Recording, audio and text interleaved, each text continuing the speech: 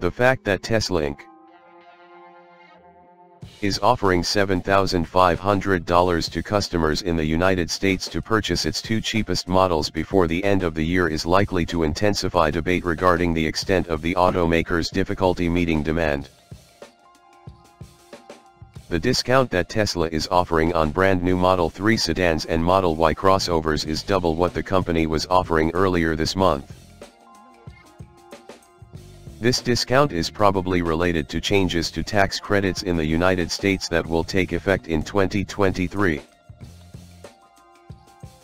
As part of changes to federal incentives for electric vehicles made by the Inflation Reduction Act, Teslas were anticipated to be eligible for credits worth $3,750 beginning in January.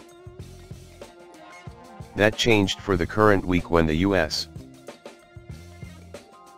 Depository Division reported it was postponing direction on the most proficient method to meet new battery content necessities, which might make specific purchasers qualified for a full $7,500 credit right on time one year from now.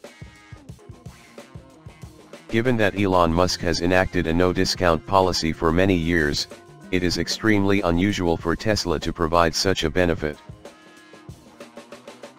The incentive is the most recent sign that the CEO's prediction of an epic year-end is not coming true. Tesla has reduced costs and creation in China, and Musk has more than once scrutinized the central bank for raising loan fees. Tesla has previously stated that it anticipates falling short of its goal of increasing deliveries by 50% this year. During the third quarter, the automaker's production exceeded deliveries by more than 22,000 vehicles, preparing investors for a second mismatch at the end of the year.